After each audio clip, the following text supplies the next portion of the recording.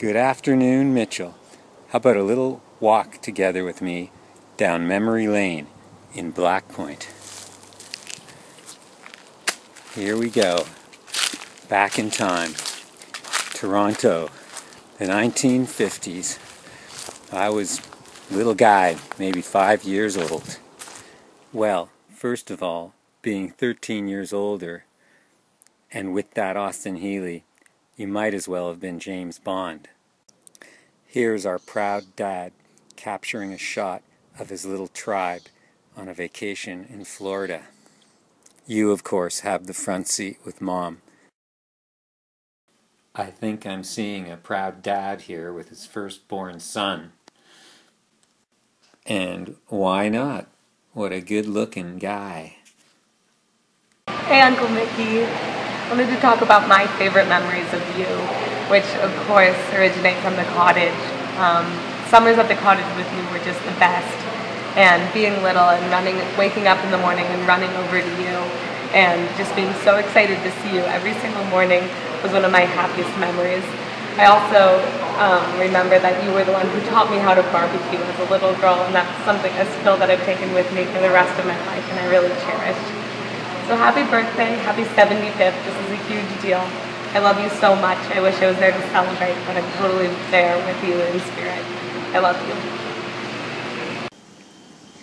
A favorite memory of Uncle Mickey I have is every summer at the cottage, he and Auntie Lily would take me and Sierra out. We'd drive into Penetanguishene and we'd go to the toy store. We could each pick out one toy and anything we wanted. And it would always become our favorite toy for the summer. And then we'd go out and eat fish and chips. And on the ride home on the windy road, we'd sing James Taylor songs. I hope you have a great 75th birthday, Uncle Mickey. I love you. Mickey, I'm here to wish you the happiest of birthdays. I already have, but you should have your birthday all month um, for this huge event of 75. And I want to say that my uh, fondest memories of you have always been as um, a very generous heart, a very uh, family oriented person who uh, immediately took me into your family, uh, has loved my girls, has um, just always been a fantastic support, and um, you have so much humor and love, kindness in your heart, and I appreciate it so much. One overriding memory that is with me from my whole life's relationship with you is that you've always been there for me for my whole experience growing up in Toronto and beyond.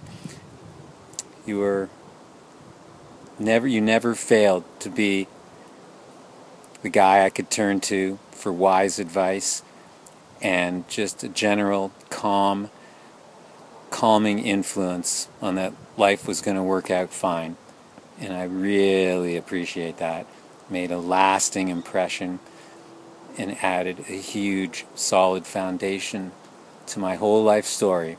And I love you so much for that.